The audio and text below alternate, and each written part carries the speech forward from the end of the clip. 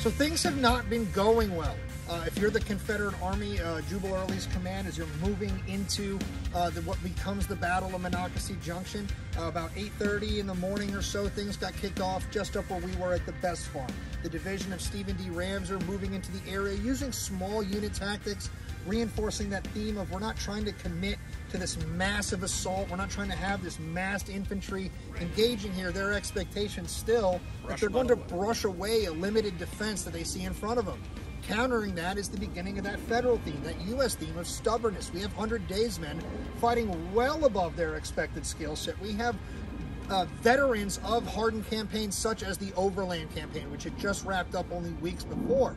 And what is going to happen in this moment is the Battle of Monocacy Junction begins its long, slow pivot.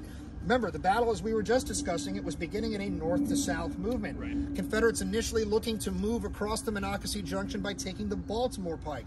Ohio troops from the National Guard putting up a staunch defense there, forcing them to consider different options. So they moved over to the Georgetown Pike, modern day Route 355, which cuts through the heart of modern day Monocacy National Battlefield. That same thoroughfare is where they're looking to go uh, in a sort of still north to south movement. Again, making this attempted run on Washington, D.C., Washington City as it's known at the time, the national capital. But there's that theme, that stubborn defense they were expecting to wipe away. It's again been keeping them kind of uh, isolated to the best farm. So we begin this long, slow movement where we start to look for ways across the river to begin what's known as sort of the east-west movement of the battle. What ended, I guess, what ends up becoming the final sort of trajectory of things. Once they get across the river, the battle stops moving about moving north-south and pushing the U.S. troops out to the east. But that brings us here uh, to the Worthington Ford, or the approximate location of it. Now, prior to filming here, uh, our good man Matt Borders was getting a little giddy because we might be standing actually right within feet of the original location. We knew we were within yards. Right. Uh, perhaps uh, a football field or less in space, but we might be standing on the real location of it. Some uh, future stuff to come back to, but why are they coming here and who is coming here? It's McCausland. It's a bunch of Confederates that are looking for a way across the river to the Worthington property. That's right, Pat. So what we have here is about 1,200 troopers from John McCausland's Confederate cavalry. Brigadier General John Tiger John McCausland, very aggressive commander, not having a great relationship with Jubal Early. Jubal Early thinks uh, his Confederate Cavaliers are, as he called them, buttermilk raiders. He Weak! really did not care for McCausland and his cavalry command.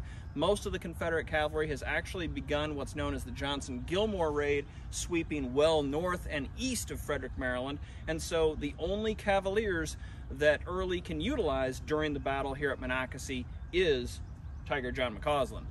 McCausland's going to do his job though. He's going to move about a mile to the west of, mile and a half to the west of Best Farm, and he discovers the Worthington Ford.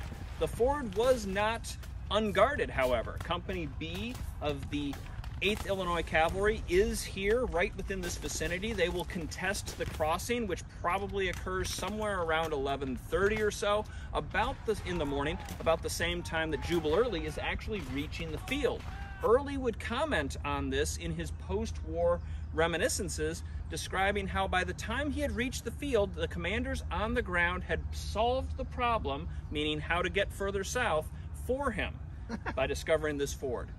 Now, McCausland's Cavaliers, again, 1,200 of them, they heavily outnumber the 8th Illinois Cavalry. They will push them away from the ford and gain access to this side, the south side of the Monocacy River.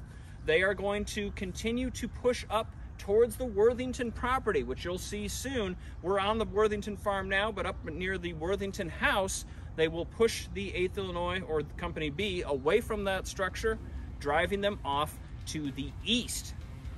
Now, once McCausland gets up to the Worthington farm, he believes he has gained the flank of the federal line. Remember, Confederate forces think they're dealing with just militia, maybe some particularly stubborn militia, but still, they think they're dealing with men they should really be able to drive fairly easily. And so, with gaining their flank, John McCausland is now going to order his troopers to dismount in mass in preparation for an attack. One of his cavaliers later wrote that we were told to tie up our horses or turn them loose. No man could be spared to hold them because McCausland wants to put as much power as possible into this attack.